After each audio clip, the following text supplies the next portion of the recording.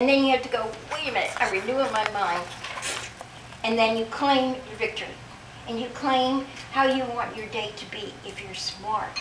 Okay? You don't waste your time. I'm asking you to step out of your emotions and call your victory. Because you can.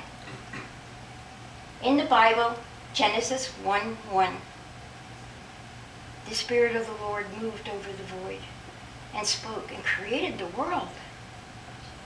Honestly, we create our world by what we speak. And our words are stronger than the devil or negative forces.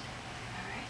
And so anytime you feel, I mean, some of you are getting scary health reports, or a marriage is breaking up, or money can be tight. All right? You claim your victory. There's one person on the secret, I forget, doctor somebody, but he says over a thousand times a day, I am so happy and grateful that money comes to me increasing quantities from multiple sources on a continual basis. Jack Canfield. Huh? Jack Canfield. Yeah. I mean, how cool is that? So say something like that over and over and over instead of rattling what the problem is. Because that is calling in your victory. And that is how powerful our mind is. We didn't know if we were going to have any turnout tonight. You know, we just put it out there. Hello? How many of you want to shift into the new year? And look, we have a house full of people who want to shift. I guarantee you, you all went through a rebirthing pro process before you got here. What does that mean, rebirthing? Resistance. Yes. I don't think I want to go. I don't feel good. My neighbor needs me. My clients needed me so much today. I was so busy. I was trying to get my hair done so I could look pretty for some pictures.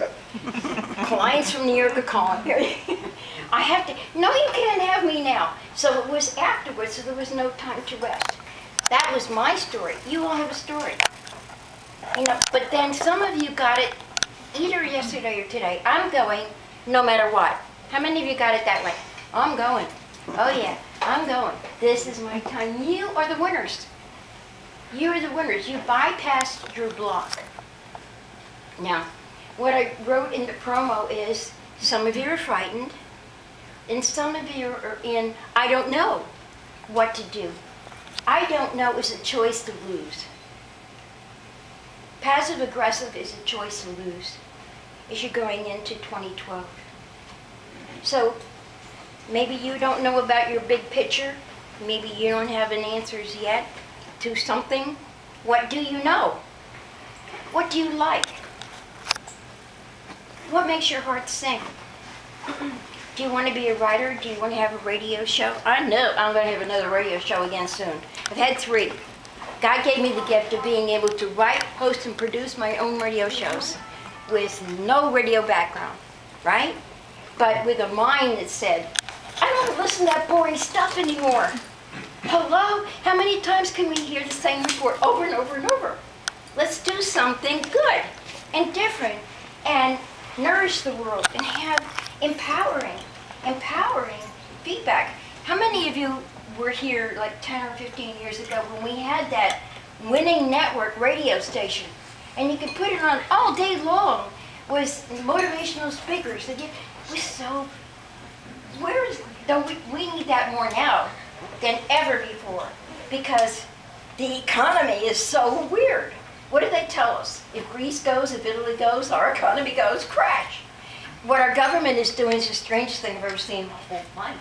I hope we have some smart people with some money that get to run the government and a brain because we're here just watching what our government has done, aghast. Those of you who have families, children, grandchildren, I have all that, they're going to have to pay the price for this stupidity. It's time for us to speak up and face our truth. Okay, that's kind of a lead-in. I'm going to tell you just a couple of different stories of things that happened to me because I was ready to take a chance. And, and, and really, this isn't about me, but it's only as an, an example, okay? But before I do that, I would like you to take a moment to just think about what is one thing you would really, really like to do this year. Close your eyes for a minute. and it'll come up for you. What one thing that you really, really like to do this year?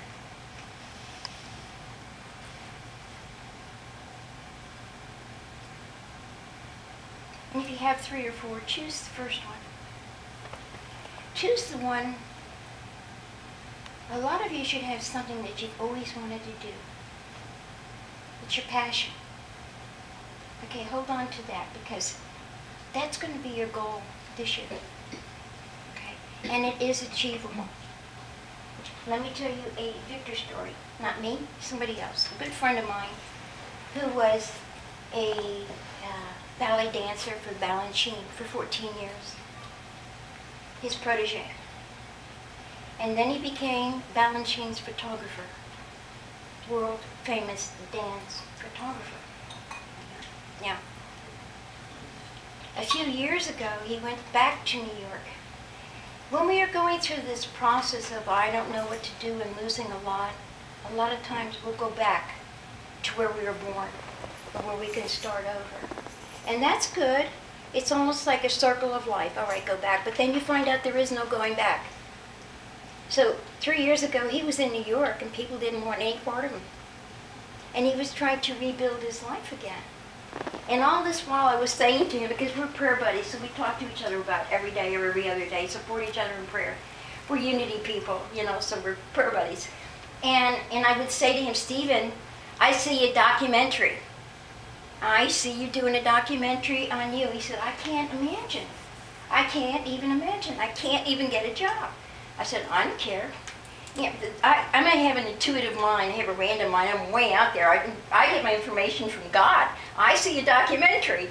So he just finished his documentary. Yay! All right, he just finished it. Two years in the making. Of course, a quarter. It cost a quarter of a million dollars to make that documentary. All the money was raised. And I've seen it, and it's amazing. Yeah, yeah, in it, yeah. It's just beautiful. And it's so real and it's alive. Well, he was asking me the other day, he said, California wants us to do a virtual version of what it would be on um, public broadcasting. So we started talking about New York. And this is where he comes from. This is where he was with Balanchine. And this is where a lot of his artwork. I said, Stephen, why don't you go to New York? You're going to pay for California. Why don't you do it in New York? He said, I don't know who to get in touch with. I said, yes, you do. Yes, you do. And I'm saying that to you. You know your next step. You know how to get there. You're just not pushing the envelope. I said, you know somebody who knows somebody who can get you into the head of the station to see if they will at least view your documentary. It took him one day. Not even a day, a half a day. He called a woman who wrote, who is a famous writer who, who did the um, quintessential story on uh, Jerome Robbins, right? And so Stephen, they're good friends, told her what she wanted. She wrote the station right away. Right away, they're going to view. One day. And that's how fast things can happen to you. Miracles can happen now. The last few years, actually the last 10 years have been a bitch. Excuse me, French. you know, all right, adjust and be brave and move on and think you're going to have success and then let go and start all over again and lose your money and, you know, be brave. on and on.